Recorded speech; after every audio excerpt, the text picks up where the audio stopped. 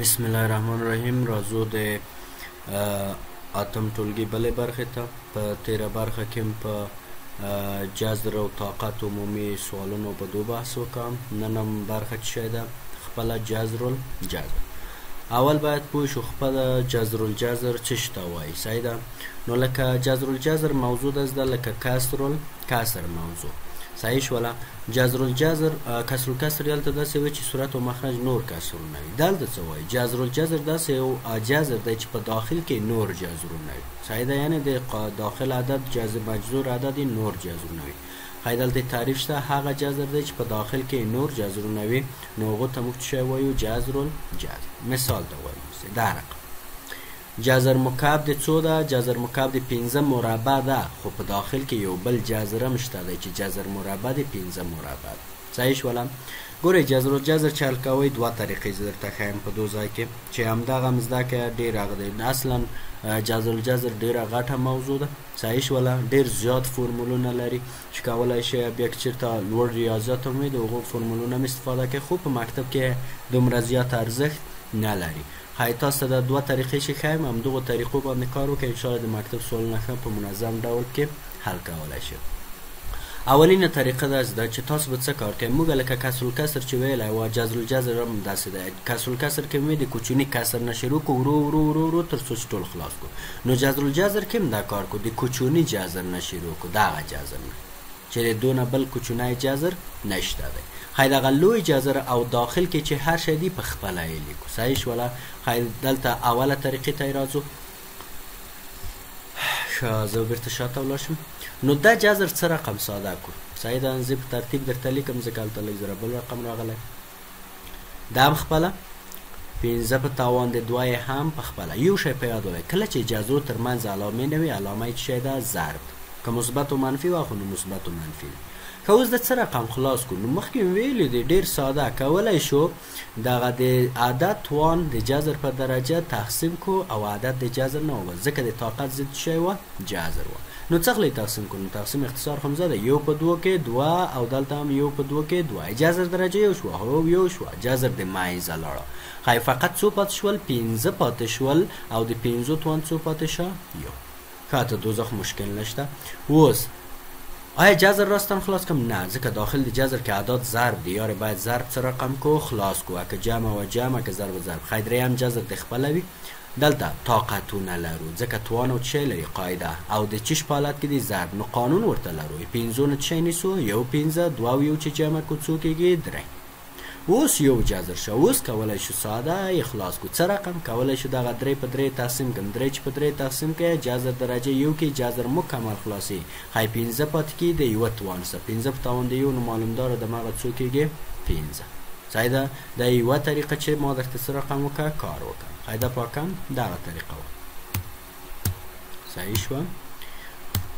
راځو څومې طریقې ته دوهمې طریقې ته دوهمه طریقه دا زده په یاد ولرئ وایي که چیرته دوه شرطه لري دا دواړه شرطونه باید موجود وي که دا شرطونه موجود نه وو نو هیڅ وخت تاسو نشئ کولی چې په دو طریقه دا دوهمه چې زه درته وایم په دو کار وکړئ اولین شرط دا ده وای تاسو باید باید دا طریقه چې استفاده کوئ داسې حالت کې وي چې ټول جذرونه ټول جذرونه باید د چیش په حالت کې وي ټول جذرونه د ضرب په حالت کې وي بدون د ضرب نه په بل طریقه کې هیڅ امکان نه لري دا کار چې زه درته کوم د تاسو سره رقم کې اجرا او دوهمه طریقه دا ده چې پس د هغو نه چې جز جذرونه ضرب په حالت کې وو باید د ټولو جذرو قاعده څه رقم وي قاعده قاعده نه وبخښه داخل داخل د جذرو باید د ټولو یو رقم وي. داخل کې قاعده چې ده هر شی چې ده باید ټوله څه رقم وي مساوي وي که چیرته مساویم نه وو نشو کولای د دې طریقې نه څه وکړو استفاده هی بیا مجبور یو د څومې طریقې نه استفاده کو اول هی راشه اول ده شرطونه لري هو اول جذرونه چې علامه نشته علامه ضرب دی ضرب په حالت کې دی او بل دو لاندیم پنځه دی دو جذر لاندیم څو دی پنځه توان د پاره موږ ارزښت نه لرو موږ ته قاعده مهمه ده صحیح ده ښاخی څه کار وکم څه رقم یې ساده کم تاسو به څه کار کوي هر څومره چې وو د هغو ټولو قاعدو نه به څه شی نیسئ یوه قاعده ښه دا خو ساده شوه بل به څه کار کوي تاسو به یو دانه کسري توان ورکوي څه شی به ورکوي کسري توان ښه کسري توان خو پیږي څه شی لري صورت او څه شی مخرج په صورت کې به څه شی لیکي مخرج په صورت په مخرج کې ډیر ساده ده د مخ په صورت کې به د درجو ضرب لیکي درجه چې هر شی په مخرج کې صحیح ده د راجي چي هر شی دي د هغو څه شی به لیکئ زار بخیر راشه ای دو جذر د راجي څو ده دري او د دو جذر د راجي څو ده دوه نو زار خو هم زده دی دري په دوه کي څو کیږي شپږ که نور جذرونه د راجي وي د هغو کي به هم څه رقم کوئ زار خیر په مخرج کي دي موږ پیدا کړل باید څو ولیکو شپږ په صورت کي څه شی ولیکو په صورت کي زار کړه جمع که زار که جمع که خو څه شی زه هميشه به درجې او قطوانونه ضرب او څه رقم کوی جمع کوی خو په يادم وي د اولې درجې نه صرف نظر خی پس دو نو څه کار کو د دومې نه استفاده کړو سه د توان او درجې نه توان په درجه کې ضرب د توان سه جمع په درجه کې ضرب توان سه څه رقم جمع دا طریقه ده خی دوه ضرب د دوه څو څلور بیا څلور به د دوه سه ضرب کوی نه جمع کوی وي څلور جمع دوه شپږ که نور و د اوسه هم دا کار خی صورت هم څو شه شپږ اوس ساده پنځه خپله د اختصاری شپږ چې په شپږ تقسیم کړو څو کېږي یو نو پنځه په تاوان د یو بیا څو کېږي پنځه هی د دواړو ځوابونه چې شی راغلل مساوي راغله هی دا هم دومه طریقه دا ډېره ساده طریقه ده انشاءالله نور مثالونه هم شته دي زه درته کې لیکم په مخرج کې د درجو ضرب او په صورت کې ضرب او څه شی جمع په درجه مې ضرب کړل څو شو شپږ خو په صورت کې بدون د دونه بدون د دونه سو توان په درجه کې ضرب او د هغه بل توان سره څه رقم جمع بیا په درجه کې ضرب د بل توان سره څه رقم جمع نو بیا څو کېږي شپږ شپږ تاسو هم شپږ خو انشاءالله پوهېږئ یو کې اوس راشي دو مثال ته دا ډېر ښه مثال ده صحیح ده وای دا حل که ګورئ هیڅ امکان نه په دو طریقې استفاده وکړو تر یوه حده پورې صحیح ده کولی شو خو نوره په بعض ځایو کې بیا چیرته بعد ښايي زه څه کار کم اول ټول جزونه ظرف حالت کې دي اول شرط شته دوم شرط هم شته ټولو لاندې عدد څو دی دوه ښايي د ټولو دوه نه زه څو نیسم یو دوه نیسم اوس راځو یو دانه چی به ورکو کسې ته مخرج کې چی کو درجه ضرب کوو او په صورت کې چی ضرب او جمع ادو درجه څو ده درې ادو څو ده دوه ادو څو ده درې خیر راشه درې په دوه کې شپږ شپږ په دوه کې څو شپږ په درې کې څو کېږي اتل قاعده خو وشوله بل څه شی کړو بدون د دغو درجه نه سوره دغه توان توان په درجه کې زاد د توان صبر ته څه رقم جمع خی څلور په دوه کې څو آتا آتا جمع یو نه نه په درې کې څو کېږي اووه ویشت اووه ویشت جمع شپږ څو کېږي نو معلومداره ده چې درې دېرش خی ځواب یې څو پاتې کېږي بدون د دو نه ضرب جمع ضرب جمع درې دېرش کېږي نو اوس کولای شو دا بیرته ګوره اختصار که که اختصار یې کړه کولای شو په دریو باندې څغ لیکو اختصار کو یو په درې کې درې یولس او دلته نه په درې شپږ په درې کې څو کېږي اتلس هاي کولای شو ولیکو چې یولس یې پر څو پر شپږ صحیح ده په درې چې اختصار اوس خوبایي چې شی ده خوبایي بله دا ده چې کولای شو دغه کسري توان بیرته په جذر بدل کو صحیح شوله هاي دوه به زه خپله د دوو توان خو معلومداره ده څو ده یولس او د جذر درجه یې څو ده شپږ های کولی وي دوه پتوند یولس د څه شو لاندې جذر ولیکو د شپږ فقط خوبایی دا شوه د څو جذرو نه خلاص شو او په څه شو باندې بدل که په یوه ساده جذر صحیح شوله بل سوال دا ده x ضرب د x ضرب د x د مربع جذر لاندې های ضرب دی او قاعده مساوي دی د ټولو x نه چه نیسو یو ایکس نیسو ښه یو شی چې دا اوس درته وایم چې ښه ده دا دې راغله درته همیشه به کوشش کړی که چیرته په جزرو کې اعداد او توانونه نه لرل توان به ورکوي بدون د توان هیڅ امکان نه ځکه دلته بیا ګډوډ کیږي ځکه موږ توان په درجه کې ضرب کوو بیرته توان سره جمع کوو نو که چیرته توانونه نه لرل توان معلومدار ده چې یو دی اب تیار ورسره سره رقم کوي لیکي خی دلته ګورئ ایکس توان او توان مې څو ورکړی یو دوبل ایکس تم یو دوبل ایکس تم څو يو اوس کولای شو هغه عملي کو هاي د اکسو نه يو اکس صورت او چشای ورکوو مخرج راشئ درجې ضرب کړئ دوه ضرب د دوه ضرب د دوه څو کېږي دوه په دوه کې څلور څلور په دوه کې اته او بدون د دغو درجې نه کولای شو دغه توان د درجې سره ضرب یو په دوه کې دوه د دوبل سره جمع دوه او یو څو کی درۍ درۍ په دوو کی څو شپږ شپږ جمع یو څو اووه خی دی دو ځواب څو شو اووه پر آته آیا اختصاریږي نه خی کولی شو په جذر بدل کو دی ایکس توان څو دی اووه او دی جذر درجه څو ده آته خی ده هم دی موږ جذر الجذر صحیح ده اوله طریقه هم ساده ده هغه د کوچنیو نه شروع کو یعنی که چیرته بیا د ضرب او په حالت کې نه وو او د هغه قاعده مساوی نه وي مجبور چې په دوه طریقه لاړ شو بل هیڅ طریقه نه لرو اوس دلته موږ صحیح ده نور کتابو کې راخستې بعضې طریقې لرو نو که چیرته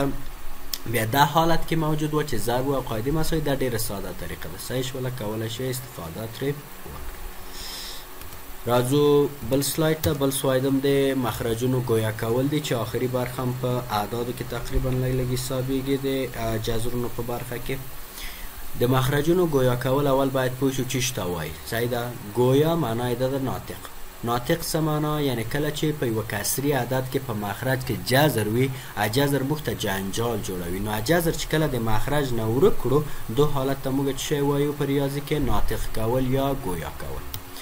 ښايي د مخرجونو ګویا کول یا ناطق کول چه شي ته وایي؟ د یوه کسر د مخرج څخه د جذر څه رقم کولو ته وایي؟ لرې کولو یا له منځه وړلو ته موږ څه شی وایو؟ د مخرجونو ګویا کول ورته وایي.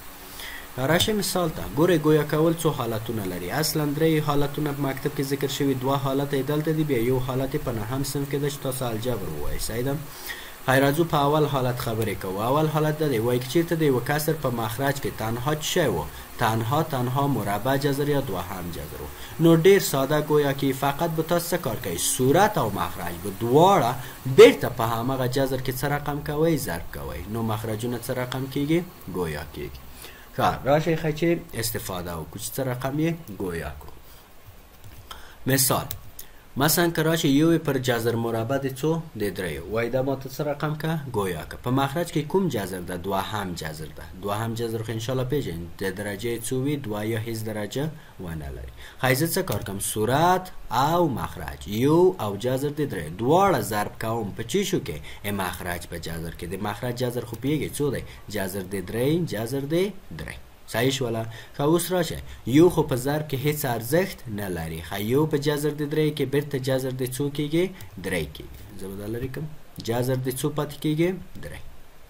او مخرج که خو بايد هلته راغله چه جذرونه درجه مساوی دو کولای شو ضرب کو خيده جذرونه به چه نيسئ يو مربع جذر داخل کولای شئ څه رقم کئ ضرب کئ دري ضرب د دريو ذاتونو څو کيږی نه خيد ځواب يې څو دی جذر د دري پر جذر د څو دی نه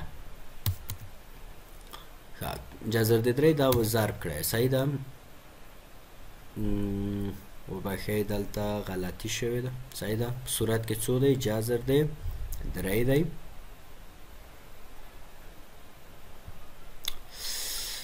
او په مخرج کې جذر د څو دی نه دی صحیح شوله اوس خو باید شی ده خو باید دلته ده چې صورت کې به ماغه شی ولیکو په جذر دی درې باید ولیکم صحیح ده خو په مخرج کې د نه جذر خو اوس مشهور شو نه جذر څو دی درې صحیح ده نو ده هم د مخرج نم جذر سه رقم کا د مین زه وړه فقط څو پات شول دری صورت کی موږ ته هدف نه دی چی صورت نه جذر ورکیږی که نه ورکیږی صحیح ده موږ هدف فقط کوم ځای دی مخرج چی د مخرج نه باید جذر ورکو ده طریقه داسی طریقه ده چی تاسو ته یو مشهور جذر درکوی ا مشهور جذر خو نو ان شاءالله پوهیږی چی هغه عدد دوه واری ضرب کو پیدا یی کړی چی هغه عدد شی نو هغه راستا څه رقم کیږی پیدا کیږی اوس که یو نفر چی ده دری د دری سه اختصاریږی په یاد ولره هیڅ امکان نه لري ولې هغه جذري عدد دی دا پوره عدد دی هیڅ وخت جذري عدد د پوره عدد څخه اختصار نه کیږي دلته ما غلط کړی دی صحیح ده په یاد ولرئ صورت جذر د څو پات کیږي د درې راځو بل مثال ته مثلا درې پر جذر مربع د x وای ګویا که قیضر اعظم درې او جذر مربع د ایکس بیرته ضرب کم په جذر مربع د چیش کې ایکس کې آیا درې په جذر مربع د ایکس کې ضرب کی نه دواړه یو شای نه دی دا د جذری عدد نه دی چې په جذری کې ضرب کو خی فقط خای لیکلای شو نور هیڅ امکان نه لري قاعده دواړه به وسته رقم کو ضرب کو څخلی ضرب کولای شو ای جذرونه یو جذر لیکم ایکس په ایکس کې ضرب کوم ای جذرونه چې یو جذر ولیکو دلته نه پیګم څه مشکل ده کاپی شوی ده څه رقم ده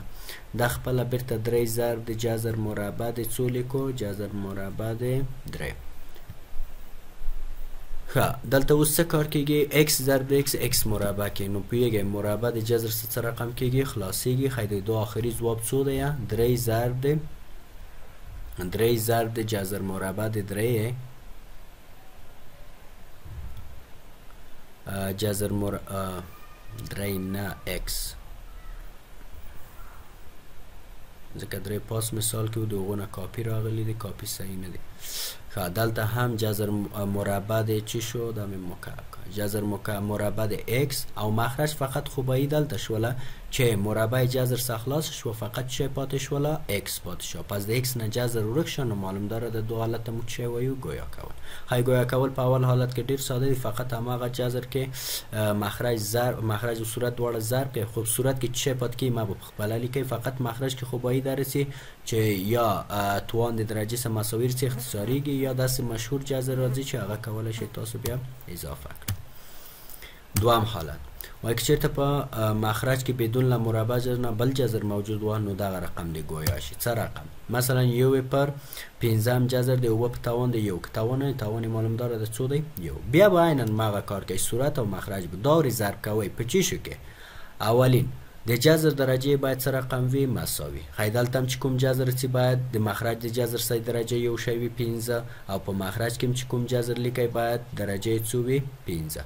بل د داخل یی باید یو شی وی په داخل کی د دو هم باید اووه لیکل شوی وی په داخل د دو کی هم باید څه شی لیکل شوی وی اووه عینا د پاس رقم فقط مهم اتوان دی. توان څو ورکو؟ تاسو توان چې ورکوئ نوی توان د دغو د درجې نه به د عدد توان څه رقم کوئ منفي کوئ ښه د پنځو نه چې يو لاړ شي څو پاتې کېږي څلور دلته به هم اوو ته څلور توان ورکوئ او دلته به هم اوو ته څو توان ورکوئ څلور صحیح شوه ښه زه دا پاکوم لاندې تیار لیکل شوي جذر درجه باید 15 وي لاندې عدد باید وي فقط تاوان باید څو وي څلور ځکه بیا ان شاء الله اوس درته وایم دغه څلور چې د یو سره جمع شي 15 کې بیا 15 15 اختصار راوړي اوس راشه یو جذر د دوه کې ضرب کې بیرته ماغه چې شي کېږي یو په ضرب کې سرځي ماغه 15 هم جذر دی او په تاوان د څو کې څلور خو خوبایي دلته ده دا چې ضرب کو د جذرونه یو جذر د اوونه یو اوه یو څلور جمع کې څو کې 15 خوبایی پنځه د پنځو سه څه رقم کیږی خلاصی جذر مکمل د مینځه څخه ځواب چی شی پاتی کیږی پنځم جذر د اوه په توان د څلور پر څو پر اوه خی د مخرج نه جذر څه رقم شو ورک شو فصدم چی شی دی هدف بل مثال دی دوه پر دریم جذر د شپږ په توان د څلور بیا څو دوا او جذر مکعب دی شپږ تاوند څلور ضرب کوو په چیش کې بعد د جذر درجه څو وي درې د لاندې عدد څو وي شپږ فقط توان د درې نه چې څلور لاړ شي منفي څو یو خی په یاد د تو دو توانو بیا څو ورکوي منفي یو دوا د دوسه چې ضرب کوي نه ضرب کېږي او په خپله لیکي یا شپږ تاوند منفي یو کولی شي منفي توان مثبت کې د صورت نه چیرته بوزي مخرج ته او بل دا خو زار کیږی د جزرو نه یو جزر نیسو د شپږو نه هم یو شپږ اوس راشی څلورو نه چه یو ولاړ شی ځکه دورې خو جمع کیږی نه علامه چه ده منفی څلورو نه چه یو ولاړ شی څو پاتې کیږی دری خوباییه دغه ده چه دری د دریو سه څخلی کی خلاصی مکمل جزر د مینځه څی خی ځواب یې څو دی دوه مکعب جزر د یوې پر شپږې پر شپږ بله خو بايد شايد شپږ خو د شپږو سره نه اختصاريږي ځکه دا جذري عدد دی دا پوره عدد دی خو کولای شو شپږ د دوو سره اختصار کړو ولې ځکه دوه هم پوره عدد دی شپږ هم آیا کولای شو ولیکو چې یو په دوو کې دوه او درې په دوو کې څو شپږ نو دا هم چې شی آخري ځواب نو د مخرج نه جذر ورک شو چې جذر ورک شو دا هم د موږ هدف چې مخرجونه څه رقم شول ګوري بل درسم نسبت نو نسبت به ان شاء الله آینده ویډیو کې ګورو خدای پامه